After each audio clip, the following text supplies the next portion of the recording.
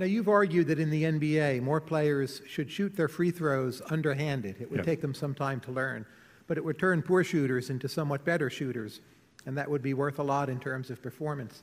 Now, you are yourself a teacher in some way, in the broad sense. So, what is it that we other teachers are doing wrong?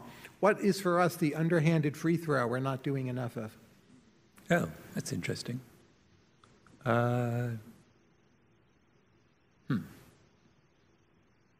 What are you not doing enough of? Well, I mean, I suppose I could expand on this notion of kind of um, that to encourage experimentation and open opportunities, one must also be much more tolerant of mediocrity. Um, and that, the, the notion that there can be something lovely in mediocrity is, uh, to borrow one of your favorite phrases, and now mine, is under theorized.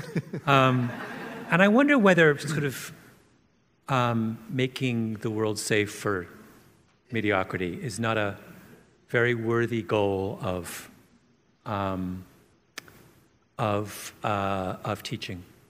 Um, because, in, you know, not only because in order to, the people who will one day be good need to pass through mediocrity on their way to being good, but also that, uh, that you know, that it's, it's that, uh, like I said, it's the gateway to experimentation, a kind of, um, and I, I, I, I don't know where one sort of how that practically translates um, in a in a teaching set in a teaching session.